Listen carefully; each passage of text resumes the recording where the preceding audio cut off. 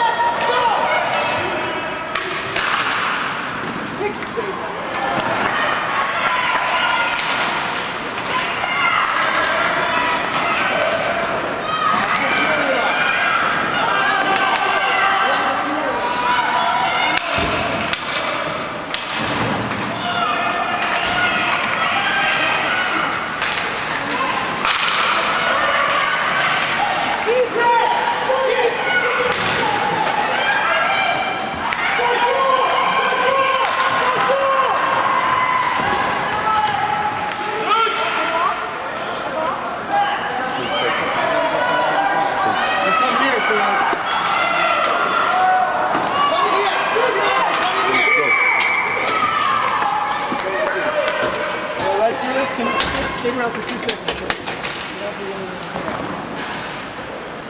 Come on back.